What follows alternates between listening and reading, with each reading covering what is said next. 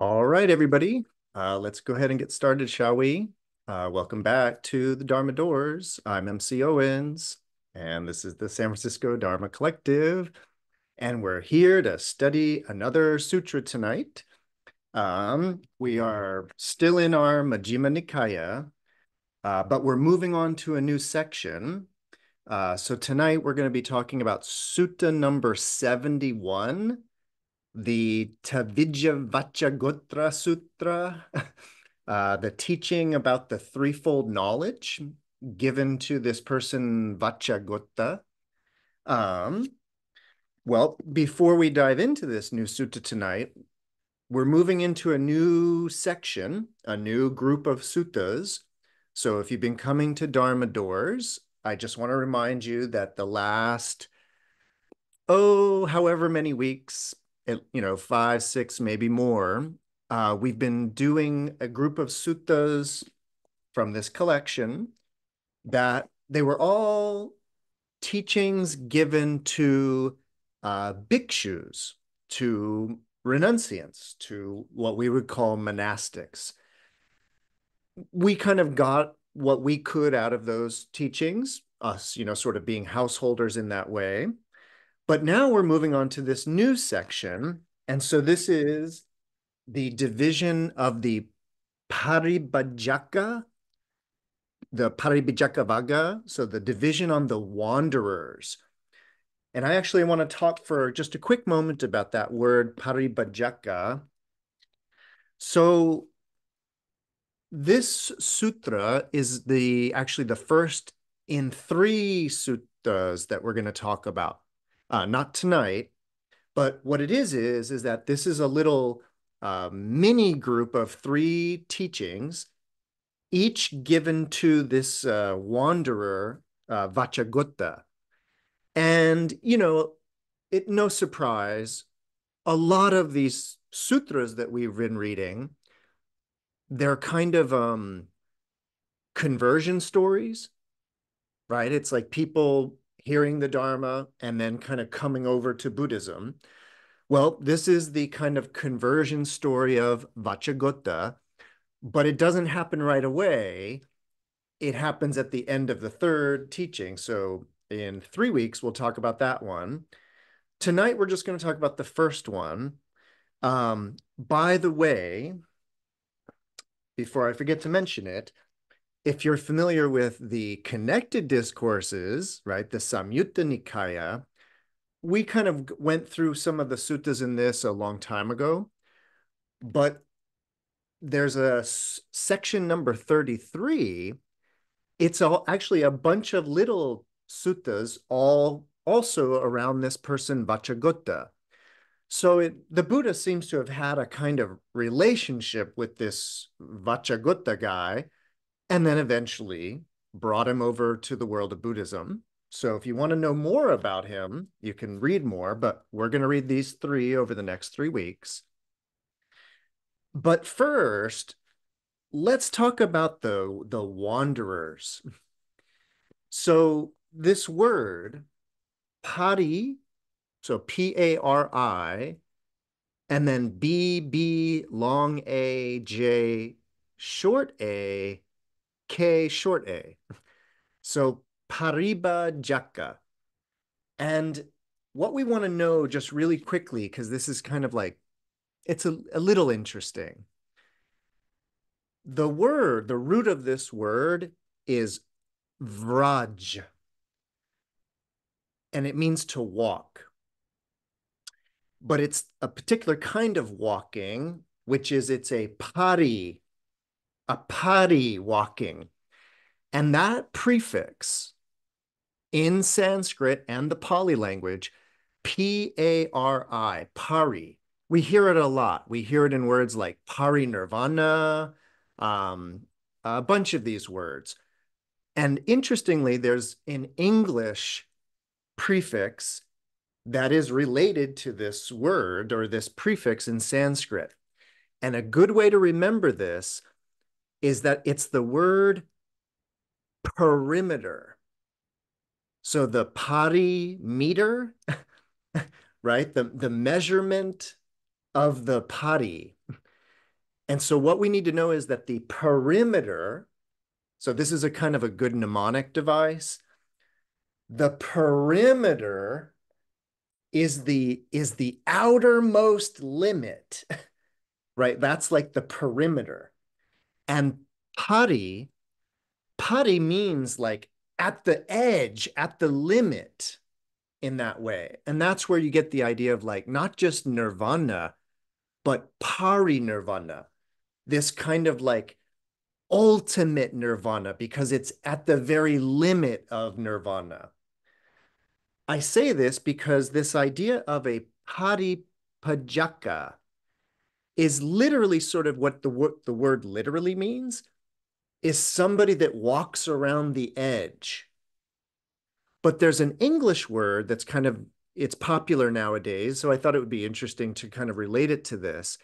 But in English nowadays, we talk a lot about the outliers. Now, the idea of an outlier, of course, is more of like a kind of a sociological term in that way. But so is this idea of a paribbajaka, because yeah, they're wanderers, meaning, you know, they're homeless in that way, they don't live anywhere, but it's also a it's a social designation to be sort of at the at the edges of society and I think we even use that expression in English as well, to be at the edges of society. I'm saying all of this because a lot of what I want to try to do with Dharma doors is like, you know, create the context in which these teachings were given, right? And I want us to kind of understand that the Buddha was one among many wanderers and the Buddha got a good following, but there were other groups. We've heard about the Nigranthas or the Jains, who actually they're going to pop up quickly in this sutta. So I just kind of want us to kind of like recognize that this was a world of religious seekers out in the perimeters of society. And so the Buddha is basically about to have an exchange with one of these paribbajakas or one of these wanderers. And well, we'll get into the sutta, but I just kind of want us to know that that's the context of the the whole group of suttas is discourses with other wanderers in that way. So, um, again, this sutta that we're reading, number 71, is called the Tevijja, if you know your Sanskrit, that's the Trividya, the three knowledges, which that's the topic. So we're going to talk a lot about it tonight. But it's the Tevijja Vacchagotta Sutra, right? So the three knowledges as told to Vacchagotta. So let's just find out a little bit about like the background of where this is taking place and all. So thus have I heard on one occasion, the Blessed One was living at Vasali, or Vaishali in Sanskrit, in the great wood, in the hall with the peaked roof. Now, on that occasion, the wanderer, the Paribbajaka Vacchagotta, was staying in the Wanderer's Park of the single white lotus mango tree. Then, when it was morning, the Blessed One dressed and taking his bowl and outer robe went into Vaisali for alms. But then the Blessed One thought, it's still too early to wander for alms in Vaisali. Suppose I went to the wanderer Vacchagotta in the wanderer's park of the single white lotus mango tree. Then the Blessed One went to the wanderer Vacchagotta in the wanderer's park of the single white lotus mango tree. The wanderer Vacchagotta saw the Blessed One coming in the distance and said to him, Let the Blessed One come. Venerable Sir, welcome to the Blessed One. It is long since the Blessed One found an opportunity to come here. Let the Blessed One be seated. This seat is ready. The Blessed One sat down on the seat made ready, And the wanderer Vacchagotta took a low seat, sat down to one side, and said to the Blessed One, Venerable Sir, I've heard this. The recluse Gotama claims to be omniscient and all seeing, to have complete knowledge and vision thus whether I am walking or standing or sleeping or awake.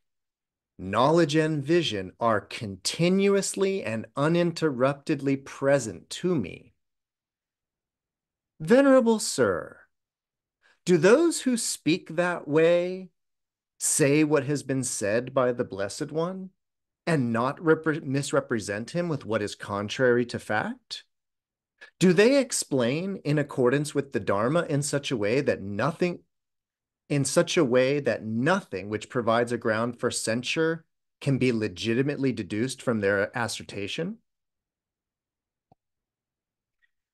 Let's pause there to wait for the Buddha's answer. But now we kind of have the context and we have the question. So the first thing I want to point out is if you read the Vacchagotta section of the Samyutta Nikaya, you'll quickly realize that the Buddha is always engaging in, uh, I guess we could call it metaphysical speculation. So all of the Buddha's conversations with Vacchagotta, they're about things like where the world came from, uh, what what what constitutes the end of the world, um, different, again, different kind of metaphysical ideas. And the topic tonight, this is what we're going to kind of talk all night about. The topic tonight is omniscience. This idea of what could be called, or what is called, sarvanya, or sarvanyanya, sarvanya, all knowledge. Now, this is a topic that we've talked about mm, kind of one other time recently. And what it was is, is that there was a sutta a, a long time ago. I think it was, which sutta was that? I forget what it was. It was in the 30s, I think. Maybe I wrote it down. Did I write it down? Yeah. Oh, sutta number 58. So actually not too long ago. And at the very end of that one, and that was the sutta where the Buddha talked with Prince Abhaya. And Prince Abhaya had a question about the Buddha's knowledge. And basically he asked the Buddha, like, do you like know everything already? Or like when people ask you a question, the answer comes to you. And the Buddha basically said, yeah, like when they ask me the question, it comes to me we're going to have a reason to kind of revisit that sutta in a moment. But I just want you to know that it was these kinds of conversations with the Buddha that eventually win over Vacchagotta in that way. So we want to kind of pay attention to this kind of metaphysical conversation here. The one thing, because it's going to come up later on tonight, to my knowledge and my recollection, this is one of the first suttas that takes place in that we've read in a long time that takes place in Vasali, or again in, in Sanskrit, it's Vaishali. And Vaishali is a very interesting location. Um, oh, I have my map. So here's our little map of India at the time of the Buddha. And you know, Shravasti or Savatthi is where we're usually at and I want us to notice that Vaishali's down here near Rajgriha. And this is sort of like the, you know, this is where the Bodhi tree is. This is kind of like the epicenter of Buddhism. But Vaishali's interesting. And it actually has a little bit to do with the hall with the peaked roof. So the reason why I'm mentioning this now is because Vaishali is like, well, it's kind of famous for a lot of things, but it's most famous perhaps for being the location of the second council. I'm not sure if you're familiar with your Buddhist history, but shortly after the Buddha died, there was the first council, like the great council of all the arhats. And that's where they got together to decide what the teachings were, what the rules were, and all of that. But then a little while later, I think mm, within a hundred years, maybe less, I'm not sure about this, but at a certain point, there started to develop divisions within the Sangha. And so there was a second council called in Vaishali to like straighten things out. And this was the beginning of the schisms in the world of Buddhism that would eventually result in like the major split between Mahayana and Theravada, right? And then even more splitting within those major factions. We're going to return to that sort of towards the end of the sutta, but I wanted to remind everybody about that. There's one other very famous sutra, but it's a Mahayana sutra that takes place in Vaishali, and that's the Vimalakirti Sutra. And I'm going to talk about Vimalakirti at the end of tonight because of its interesting relationship with this, or at least with the topic of the sutta. So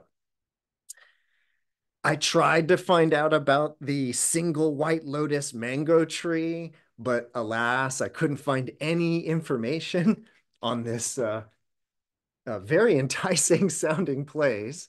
Uh, but that's the Park of the Wanderers where the Buddha goes. Um, yeah, so that sort of gets us through the beginning, the where, the who, and all of that. And now we get to the question. So the paripricha, as it might be called, the question, is about the Buddha's sarvanya, or the Buddha's omniscience and all-seeing. And what Vacchagotta says is I've I've heard this about you. I've heard this about you, Buddha. Is this true? Is it true that you are omniscient and all-seeing, have complete knowledge and vision? And is it true that you have said that whether walking, standing, sleeping, or awake, knowledge and vision are continuously and uninterruptedly present in me or present to me? And then Vacchagotta asks, so if, if I said that about you, would I be right? like, would that be in accordance with the Dharma? And what we kind of need to know is, is, and we've heard this before, I mean, we've heard this exact language before. And what it is, is, is that this was way back, way back in Sutta number 14, where the Buddha had a kind of a run in with the Nigranthas. And if you remember, the Nigranthas are nowadays we refer to them as the Jains or the Jains. So Mahavira, the leader of the Nigranthas, the leader of the Nigranthas claimed to be omniscient, or at least within the Buddhist representation of the Nigrantha teachings. We should always be aware of this, right? But in the Buddhist representation of the Nigrantha teachings, Mahavira, the head of the Nigranthas, was omniscient, all seeing, but claimed that that omniscience was constantly present in front of him, whether he was walking, standing, sleeping, or, um, you know, uh, whether he was standing, sleeping, or awake, or walking. So Vach Vacchagotta says, is this true of you? The Buddha says, Vaccha. Those who say that, those who say thus, they do not say what has been said by me but they misre misrepresent me with what is untrue and contrary to fact. Vacchagotta says, Venerable Sir, how should I answer that I may say that what has been said by the Blessed One and not misrepresent him with what is contrary to fact? How can I explain in accordance with the Dharma in such a way that nothing which provides a ground for censure can be legitimately deduced from my assertion? Vaccha, the Buddha said. If you answer this way, the recluse Gotama has the threefold true knowledge. Then you will be saying what has been said by me, and you will not misrepresent me with what is contrary to fact. You will explain in accordance with the Dharma in such a way that nothing which is which provides a ground for censure can be legitimately deduced from your assertion. And in case we forgot from our earlier suttas, what are the threefold knowledge? Well, number one, for Vacchagotta, insofar as I wish, I recollect my manifold past lives. That is one birth, two births, and let's see if we can't find, let's see, are you? Yeah, let's read it in its entirety. So the Buddha says, For insofar as I wish, I recollect my manifold past lives. That is, one birth, two births, three births, four births, five births, 10 births, 20 births, 30 births, 40 births, 50 births, a 100 births, a 1,000 births, 100,000 births. Many kalpas of world contraction, many kalpas of world expansion, many kalpas of world contraction and expansion. There, I was named such and such, of such and such a clan, with such and such an appearance, with such and such and such as my nutriment. Such was my experience of pleasure and pain. Such was my lifespan. And passing away from there, I reappeared elsewhere and there too, I was named such and such of such and such a clan, with such and such an appearance, and such was my nutriment, such my experience of pleasure and pain, such my lifespan. And passing away from there, I reappeared here. Thus, with their aspects and their particulars, I recollect my manifold past lives.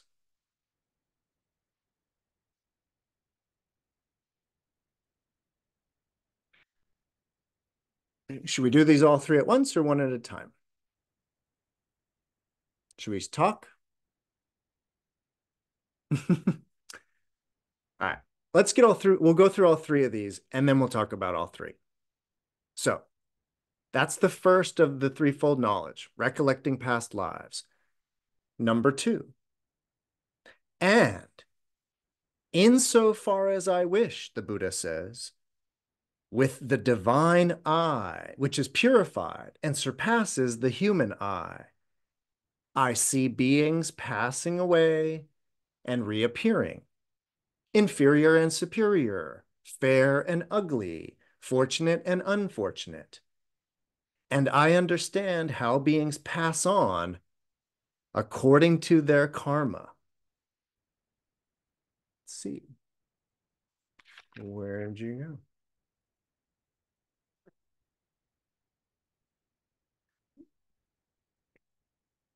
Hold on. I should have better bookmarks. There you are. So with the divine eye, which is purified and surpasses the human, I see beings passing away and reappearing, inferior and superior, fair and ugly, fortunate and unfortunate. I understand how beings pass on according to their karmic actions. And I understand it this way. These worthy beings who were ill conducted in body, speech, and mind, revilers of the noble ones, wrong in their views, giving effect to wrong views in their actions. Upon the dissolution of the body after death, they have reappeared in a state of deprivation, in a bad destination, in perdition, even in hell.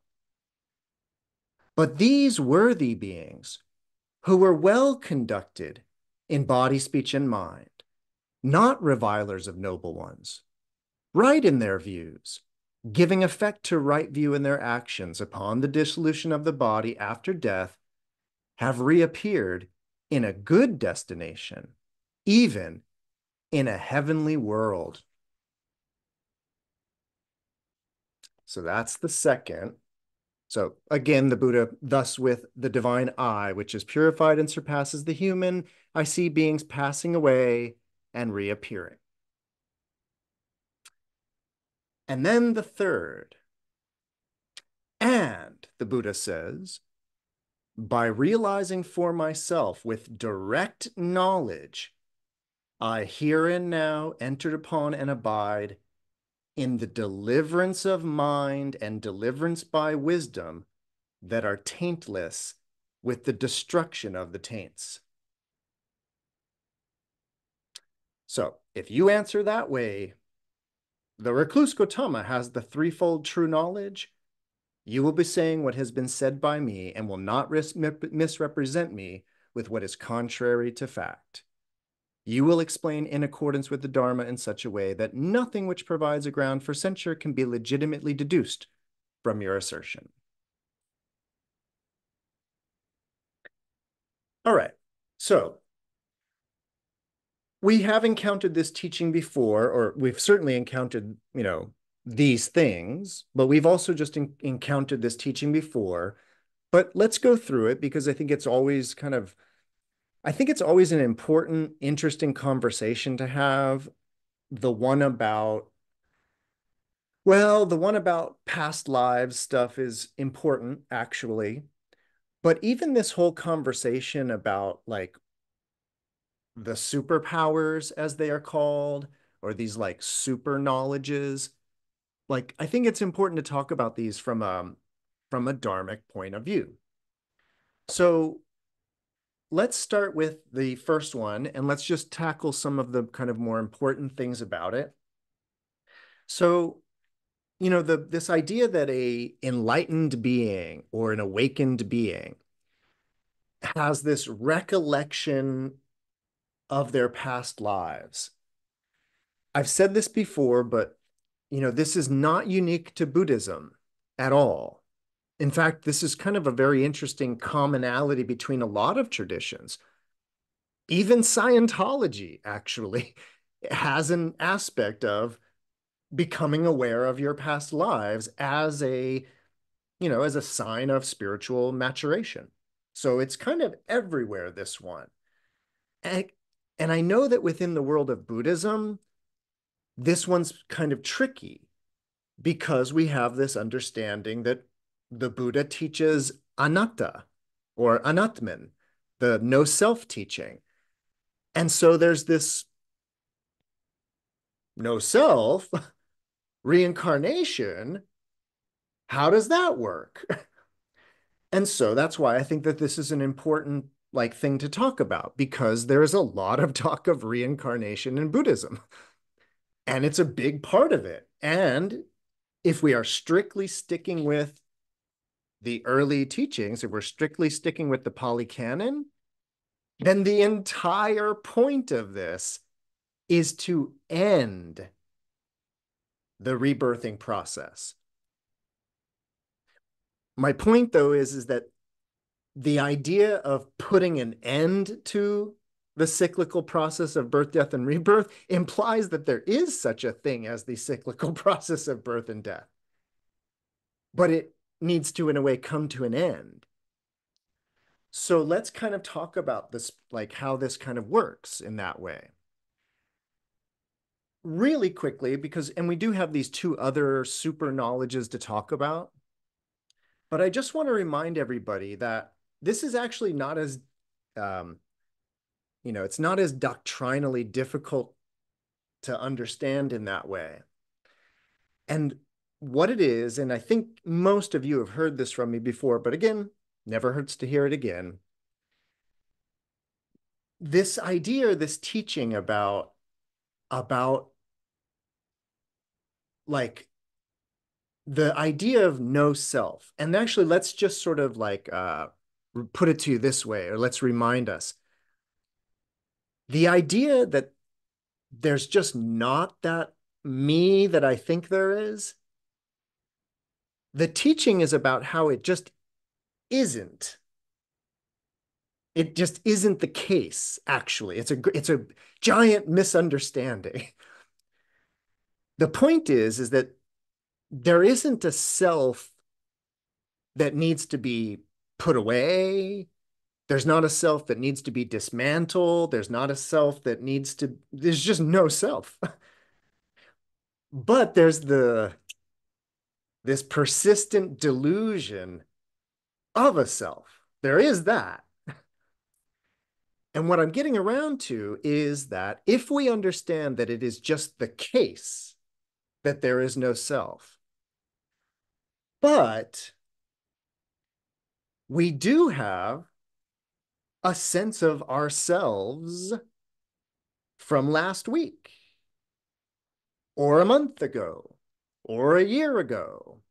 And so what I always kind of like to do is, is I, I like to begin by taking this outside of the conversation of reincarnation. And I like to just think of it in terms of that you think it was you last year, last, you know, Thanksgiving or last Christmas or whatever.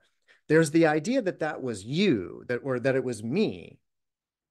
And then, as we often go through this with Dharma doors, and I think it was me two years ago, and I think it was me 10 years ago, and I think it was me 20, 30, 40, 50, all the way back to the day I was born. And now, what we often do, or what I often like to do, is I often like to take that idea of the me that was born and the me that I say or claim is here now. Are these the same thing? that meaning the baby that was born 50 years ago and this being that is before you now? They're the same being? Despite all the physical differences and the mental differences and the emotional differences, despite all of that, there's the idea that there's me. The me from before, the me that's happening, and then I'll see you next week. And then that'll be me. This is all the idea of me the one me. And what I'm kind of trying to show you is that we can have this idea of a self that goes back a year or two or 10 or 20 or 30, and there can be the attachment to that as self, just like I can get attached to my sweater as self, I can get attached to my stuff as self, I can get attached to all kinds of thing as self. I can also get attached to that year ago body. And I have this idea that it was me. So what I'm trying to kind of point at is how that those two things can kind of exist simultaneously. The truth of no self and the persistent delusion of self. they, they coexist all the time in that way. In other words, if I can just insert this really quickly here, ending the cycle of birth, death, and rebirth is about waking up. There's no work to be done. There's a realization to be had, and that ends the cycle right then and there. But before that, or actually on, on the road to that, a quick little note. In the traditional world of Buddhism, like the traditional kind of narrative of Buddhism, you you might have heard the the famous story of Siddhartha sitting under the Bodhi tree, defeating Mara. And then in this famous part of the story, after the Buddha defeats Mara, the evil one, he then stays under the Bodhi tree and then through the three watches of the night. So these are these two hour blocks. And during the watches of the night, during the first watch of the night, the Buddha attained the first of these knowledges, which is that he remembered all past lives.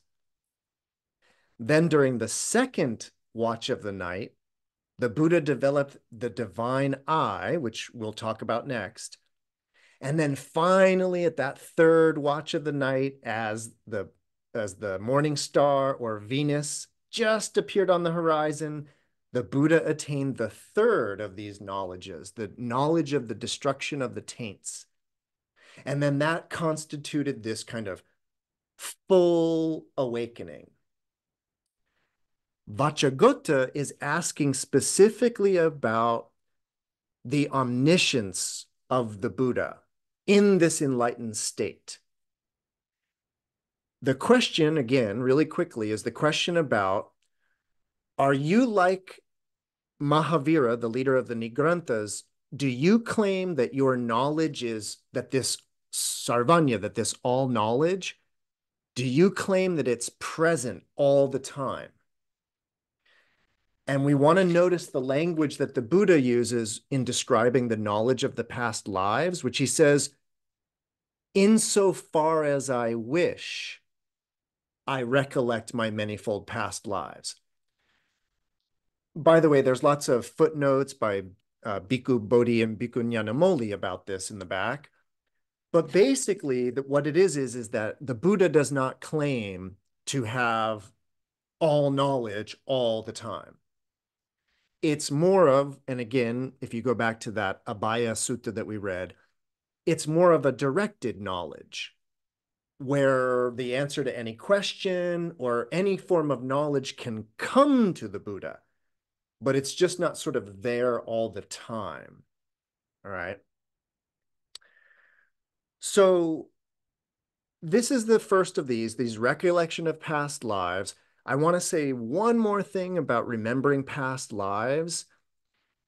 I haven't, I might not have said this recently. I think this is kind of the most interesting thing about recollection of past lives. So, my kind of both my understanding of it and to a certain degree my experience of it limited as it might be. My understanding of this is that there is as i just was mentioning we can have a very kind of attached understanding of the self. And what i mean by that is is that there can be an understanding of the self that is totally identified with the skandhas, totally identified with this body of form. And and actually like it could get even you know to the point where you know you you know you might have noticed I sometimes have a beard, sometimes I don't have a beard, sometimes the beard gets really crazy, but it could be that I was so attached to my physical form that I always had to have a beard because I have a beard. My point is is that the mind can become rigidly attached to this body.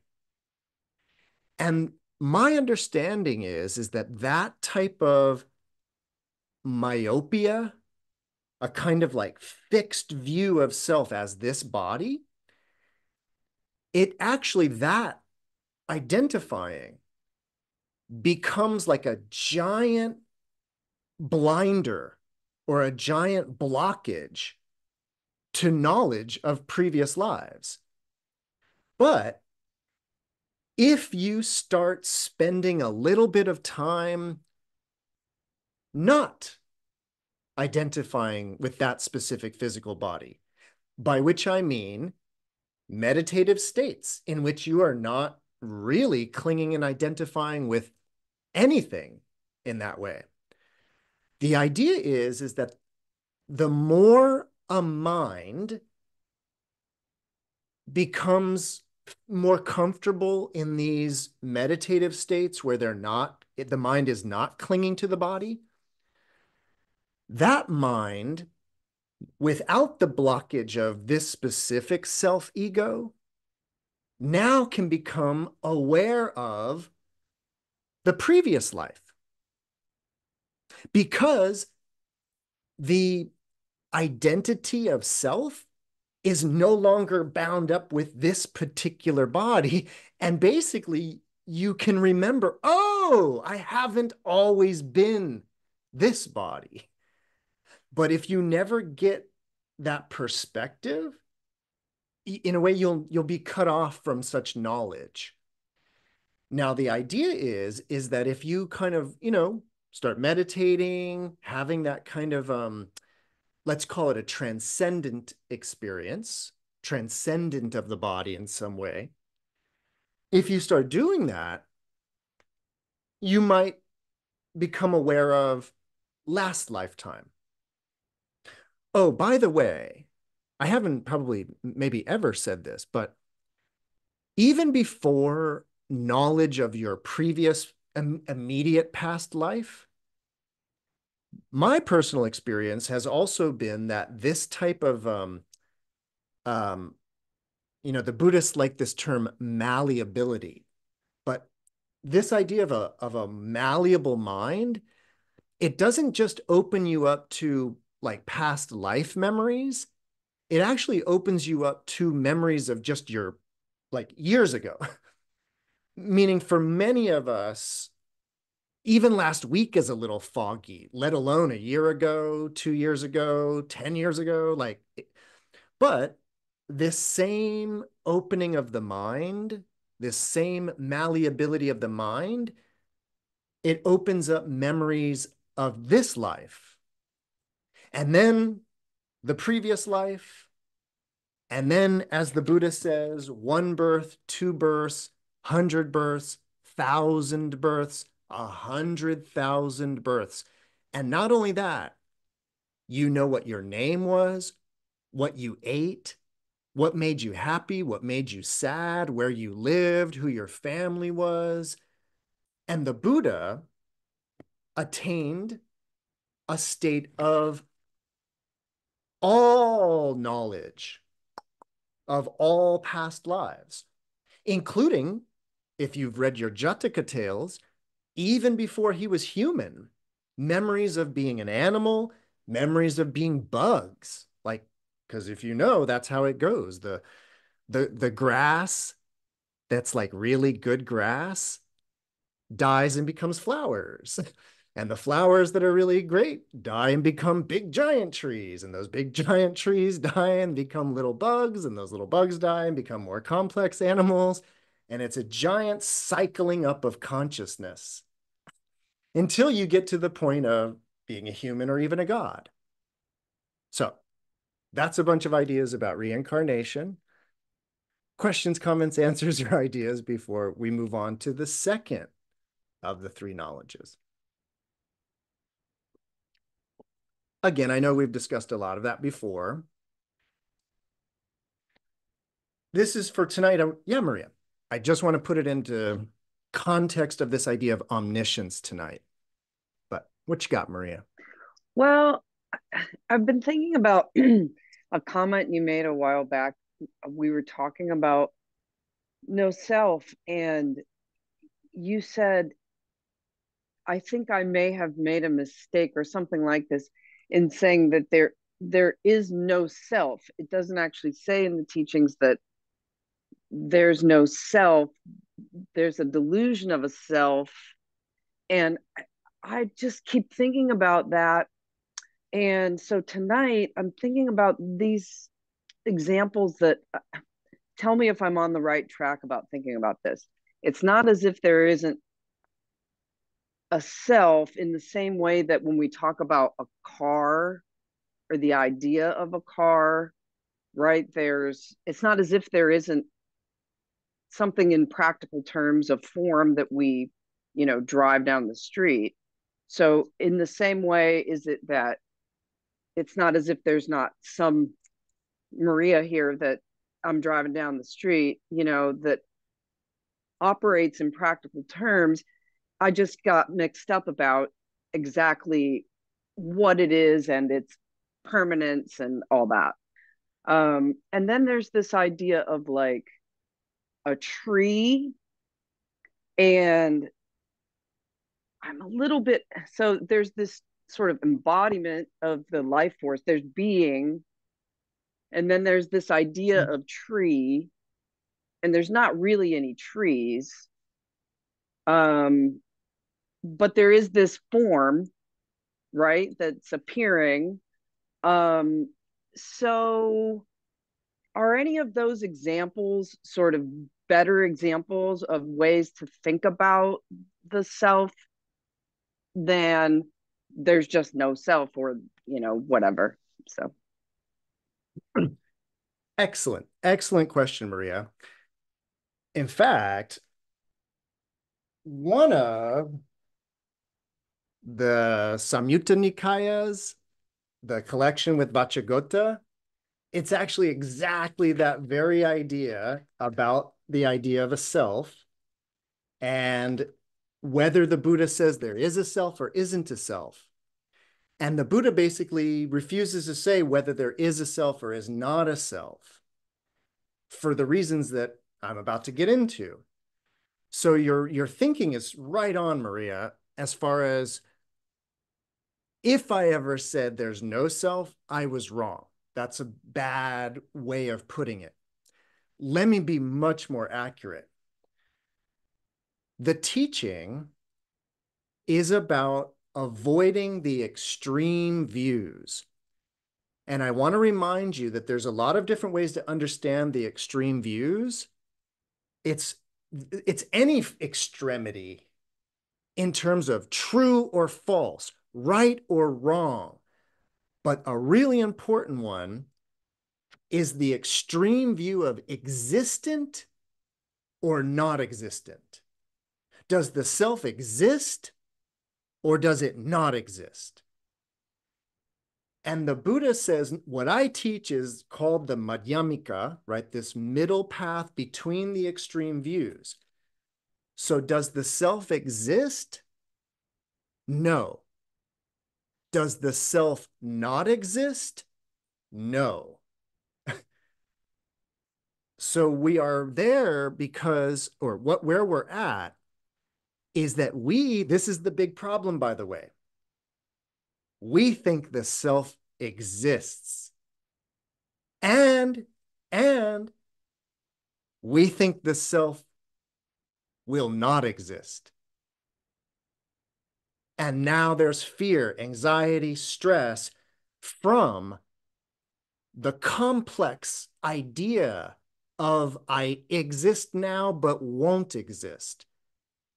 And the reason why the Buddhist teachings are called the teachings of Amrita, of the deathless, is because the Buddha is saying that if you understand that you don't exist, you will have no fear of not existing. But it's a great misunderstanding of thinking that I currently am. I currently exist. And that means there was a time I didn't exist and now I exist, but there will be a time when I don't exist. Or there's a radical alternative way to understand what's going on here. And that brings us to what you were getting at, Maria, or kind of what you kept mentioning, which is that there is this.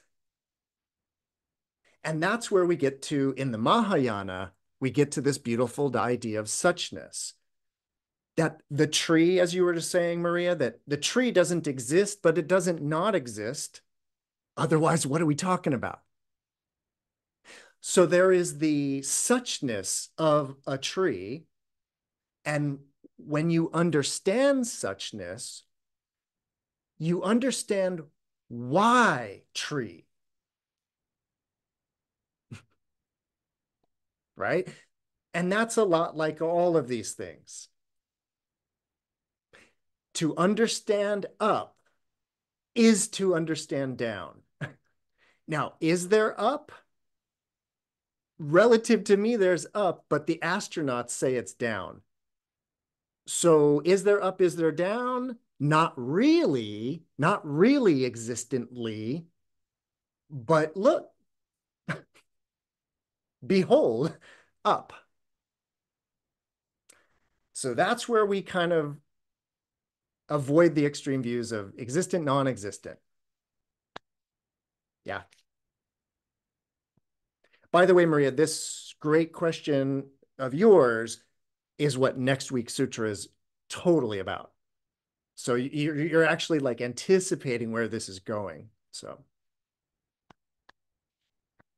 all right. Shall we move on to the second of these knowledges? So the second one, the Divya Chakshus. Divya, the divine, the Deva eye. This is the divine eye or the heavenly eye. And, you know, as it's described here, this is about the divine eye, which surpasses the human eye and can see beings passing away here and reappearing there and whether they are, you know, beautiful or ugly or whatever, whatever. So this specific aspect of the divine eye is, you know, as as I've read about it in more detail, it's basically the the divine eye is a being's ability to read another being's karma and to basically know where they will be reborn as a result of their karma. You know, you can think about it kind of more cartoonishly as far as like like knowing somebody will be reborn as an animal because of their behavior in this life.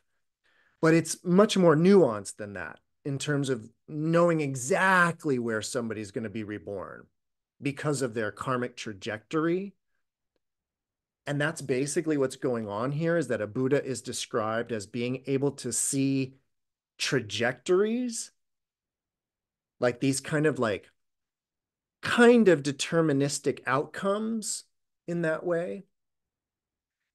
Now, the thing about it is that both of the, actually, and I want to talk about this all together really quickly because I might miss the chance and forget. And this is what I really wanted to mention tonight. So the original question was about omniscience, right? But the specific question was about like, is it right in front of you all the time? And the Buddha says no. But what I want us to notice, and, and I know that I didn't really ever pick up on this till recently, but if you look at it, what you kind of realize is that the first of the knowledges is about the past. The second of these knowledges is about the future. And as the language says, and the third of these is realizing here and now the destruction of the taints. So it's about the present. So notice that all three time periods are accounted for. And I kind of want to highlight that as an aspect of the omniscience. So there is this kind of total knowledge of the past, of the future, of the present, but it's not all at once. It's again, this directed knowledge in that way. So, all right. Um, any questions about the so-called divine eye and what's going on with that?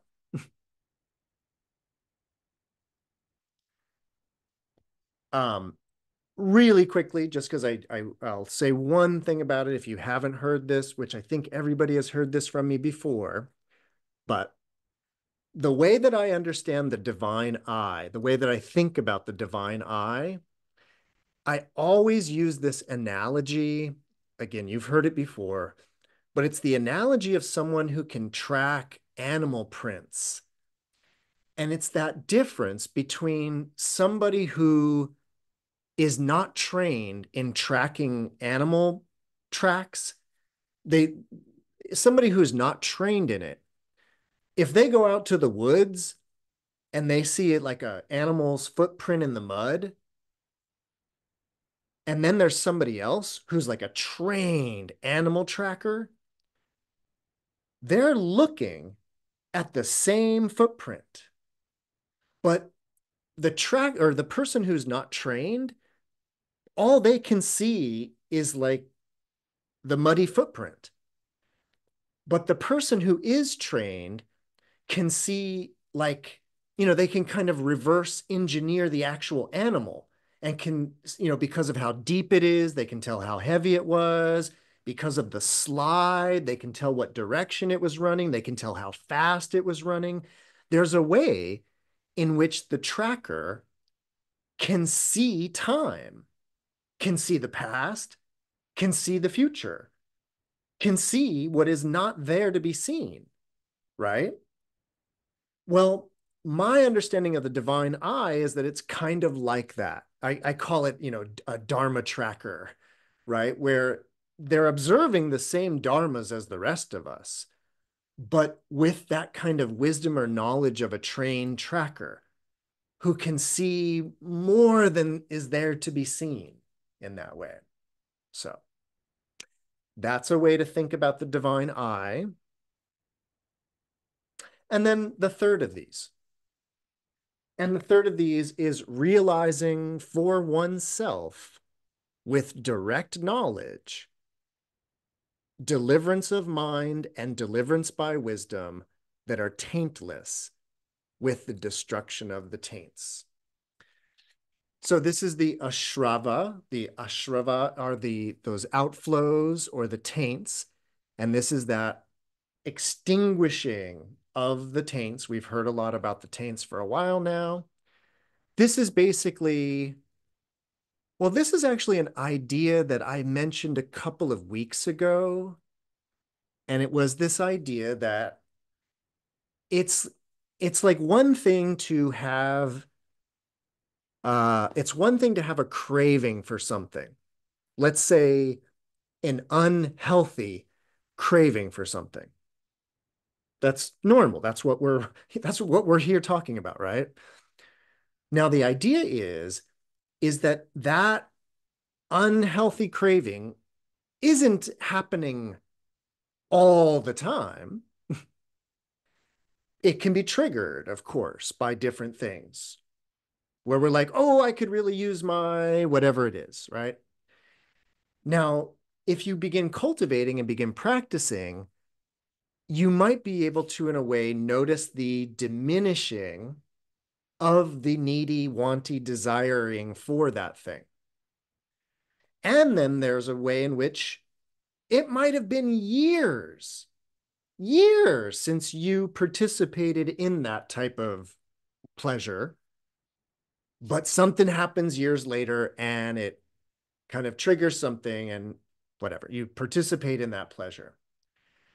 But what Buddhism is talking about is a state in which the individual is aware that that is gone, that it's gone and it's not coming back. And so what I'm getting at is, is that yes, the destruction of the taints is what we're going for, but this is particularly the the particular superpower here is not destroying the taints. It's knowledge that they have been destroyed. And that's what i'm getting at is that it's this really like serious level of knowledge where you know oh i've i've beaten that hang up or that desire or whatever. Some don't really think that that is possible. Like there is a kind of modern theory of psychology that basically says, no, like such erratification of things is not possible. That that's certainly a view that it's not possible, but I'm kind of here to mention that it's a very much a part of Buddhism that it is possible. In many ways, if it weren't possible, we really wouldn't be here. Yeah, Noe. Well, he also clarifies it in the here and now. There it Mhm. is. Yep. Not yesterday, not tomorrow.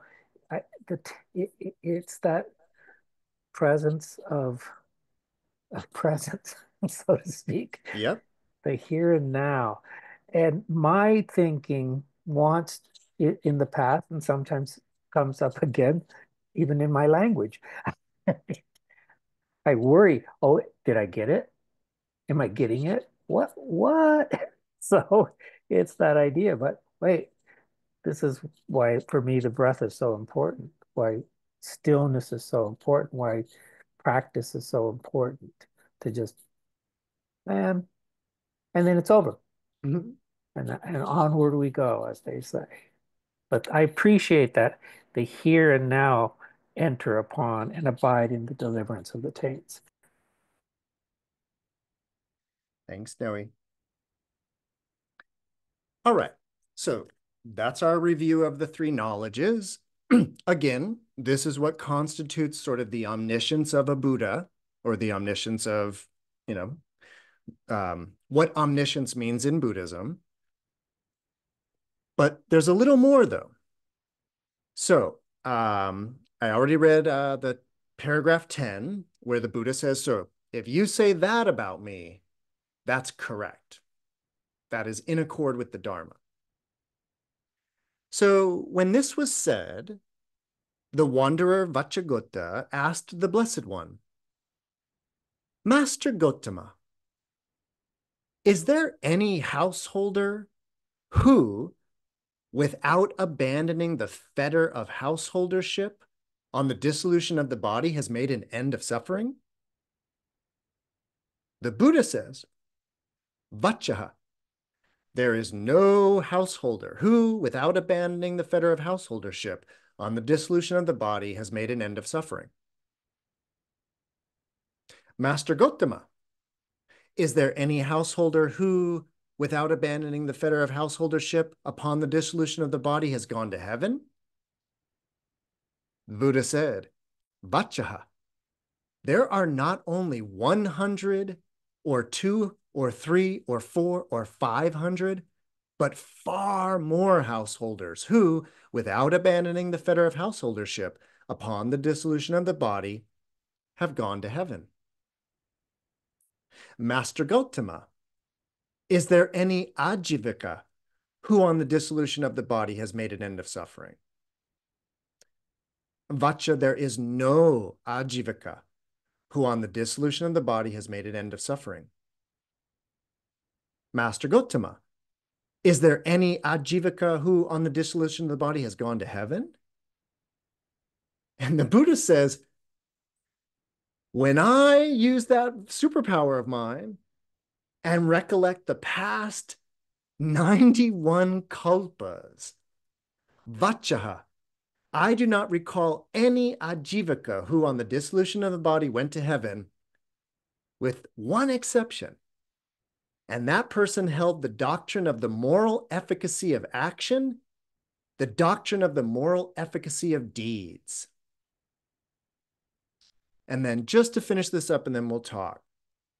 Uh, Vaccha says, well, that being the case, Master Gautama, that sectarian fold, meaning the ajivakas, they're empty even of those who go to heaven. And that being so, Vaccha, that sectarian fold is empty even of one who goes to heaven. All right, so that's what the Blessed One said. The wanderer Vacchagotta was satisfied and delighted in the Blessed One's words, but didn't fully convert yet. But let's back up because I want to talk about that last part about the the the gahapati, the the householder, and that, so a, a gaha is a is a house, a gahapati is a householder. And then this is the, they're talking about giha samyojana. Gihi samyojana is the samyojana, the fetter of a house, basically. So the question basically is, Master Gotama, um, has there ever been a householder who's ended suffering entirely? So become an arahat, right? Entered nirvana.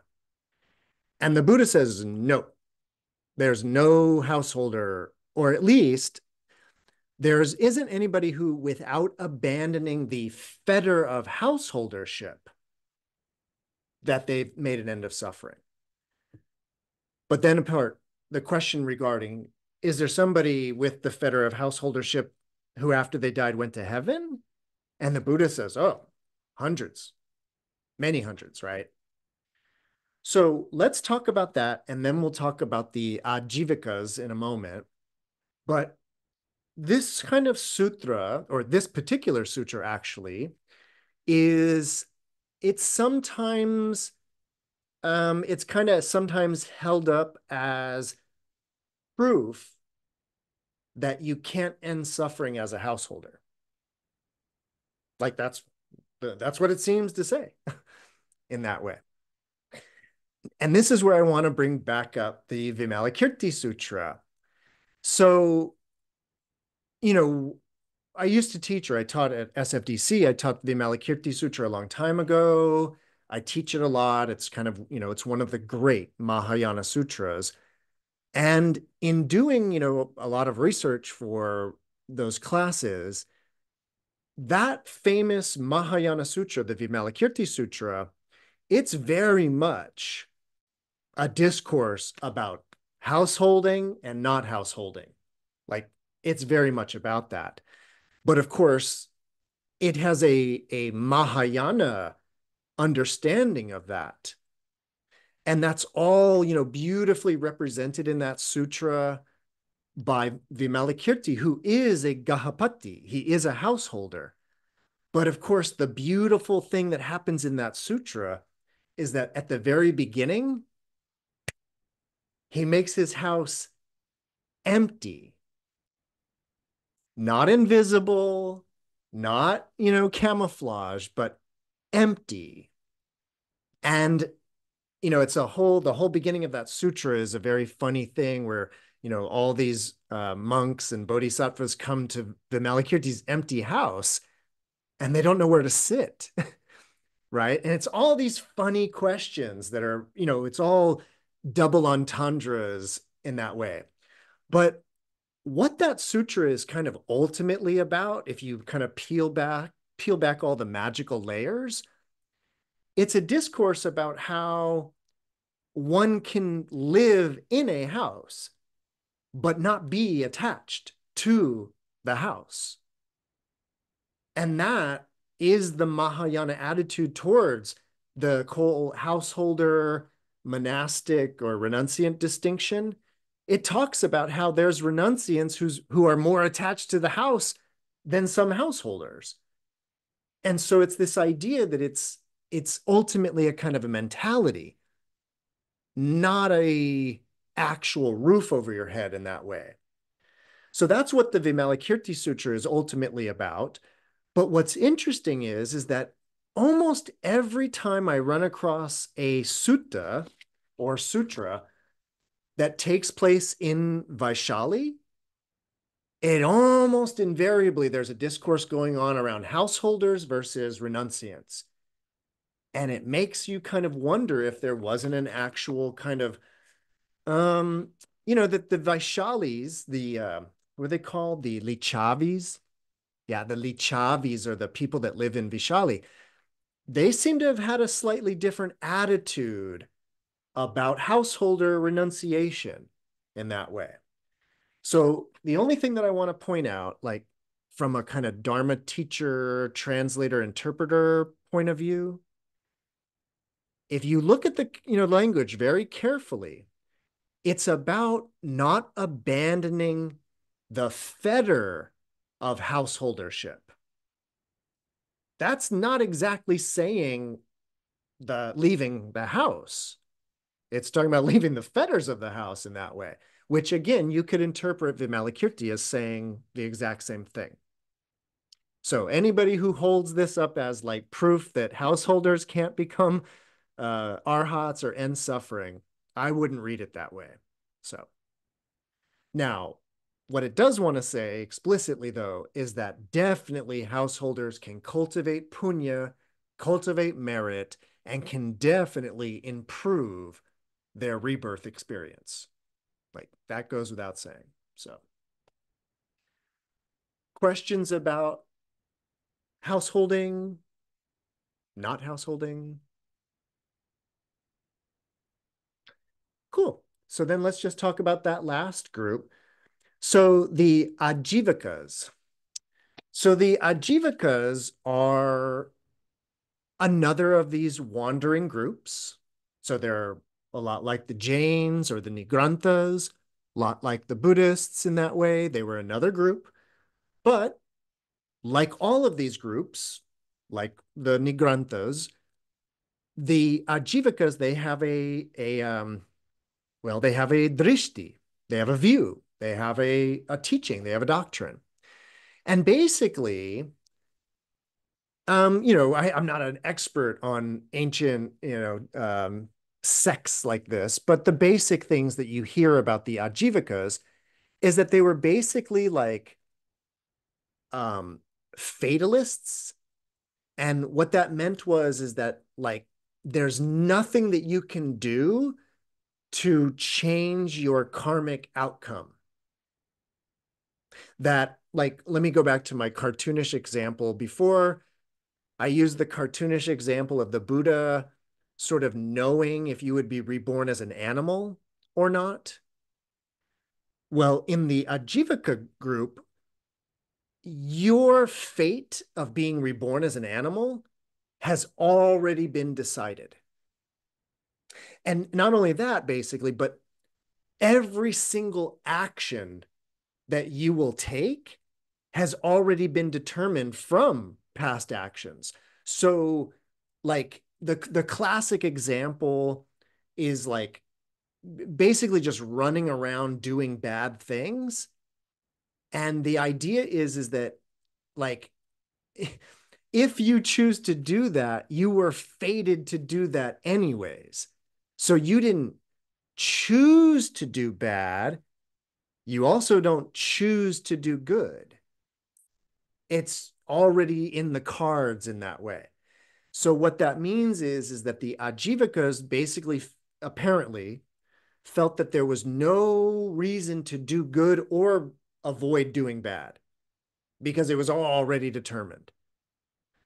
So now Vacchagotta wants to know. So those people who they think it's all just predetermined in that way has have any of them ever ended their suffering? And the buddha says no no. And then the question about well have any of them gone to heaven? And the Buddha says, there was this one Ajivaka, right? That in the, there was only one in the past 91 kalpas, right? And that's like an eon, right? a, um, a large amount of time. Now, what's funny about this is that if you if you read the footnote about this, that one Ajivaka was a prior life of the Buddha. He was the one Ajivika who did believe in the moral efficacy of action. He did believe in the doctrine of the moral efficacy of deeds. So if you remember that from the sutra, it said that the Buddha said that, well, there was this one Ajivika, and unlike Ajivikas, he believed in the efficacy of action. And because he believed in the efficacy of action, he was reborn again and reborn again and eventually became the Buddha. So, um, yeah, that's a funny, um, that's a whole little trope. Um, I want to mention this really quickly because I have time. This little, again, I'll call it a trope, And the trope is uh, it, it happens in sutras, and it's where the Buddha tells a past story about somebody. And then at the end of the story, he basically goes, and guess what? That person was me. and so this is a thing. But then this trope, it becomes a kind of a major part of Mahayana sutras where the Buddha will tell a vast, long story that happened, you know, kalpas and kalpas and kalpas ago. And the story will involve multiple people. And then the whole story will play out. They're always like a, a kind of an allegory where there's a moral story to it. And then in these like more wild Mahayana sutras, the Buddha then says, and and guess what?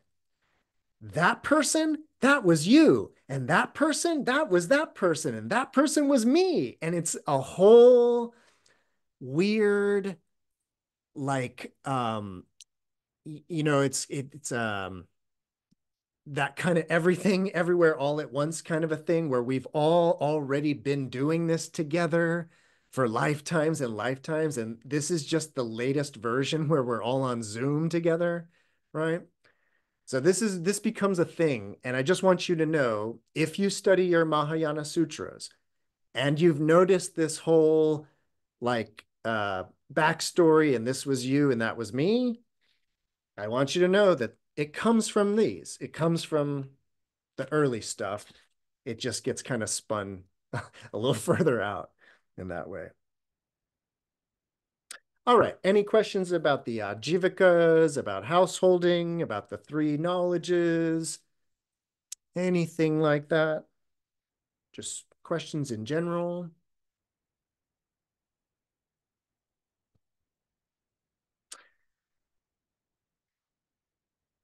Since we have a moment, I want to make a um, not not quite a retraction, uh, kind of a correction, if you will. Uh, this is a correction from last week's Dharma talk.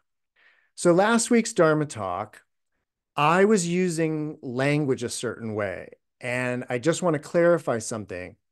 So last week's sutra was sort of about two kinds of pleasure, two different kinds of pain, and two different kinds of neutral feelings. And sort of like these different types of pleasure and one type of pleasure that increases unwholesome states like anger and things like that versus another kind of pleasure that decreases unwholesome states okay and what i did in that dharma talk last week is i was using the language of dependent and independent and i was talking about dependent pleasures and independent pleasures and in that talk, for example, I was talking about pleasures that come from things. You know, sweets, sex, all kinds of things where the pleasure's coming this way. And this, so the pleasure is dependent. And then I was talking in contrast to pleasure coming from independence of things. And in that Dharma talk using the language of dependent and independent, or we could even say conditional, unconditional. I was using that language very loosely, super loosely. And what I mean is, in the world of pleasure, that's the kind of good kind of pleasure, what we're talking about, or what we were talking about last week, is a kind of like a, a jhana, for example, one of the jhanas. And the idea is, is that to be in a jhana is pleasurable, but it's a type of pleasure that increases wholesome states and decreases unwholesome states. Where I misspoke last week, though, was that pleasure, though, is dependent it's dependent on being in a jhana.